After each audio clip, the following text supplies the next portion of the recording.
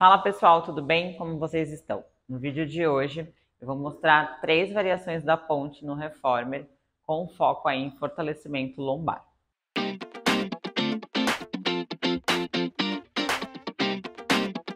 Primeiro exercício a gente vai deitar, colocar os pés aqui na foobar, afastar os pés na direção do quadril e pensar em levantar o quadril e descer sem movimentar o carrinho, o máximo possível que a gente consegue manter o carrinho aí estabilizado.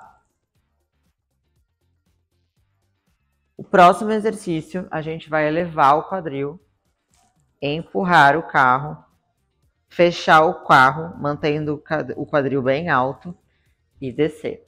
A gente precisa evitar nesse exercício que o quadril fique um pouquinho para baixo ele precisa realmente ser elevado e equilibrar aqui com o nosso quadríceps.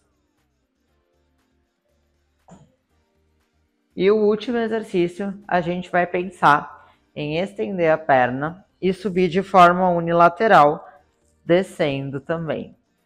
Caso fique fácil para você fazer esse exercício ou para o seu aluno, você pode adicionar aí a movimentação do carro, estendendo a perna e puxando de volta.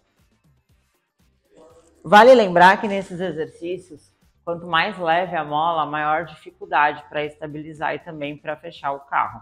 Então, quanto mais mola você coloca, mais estável ele vai ficar e mais fácil para realizar, certo?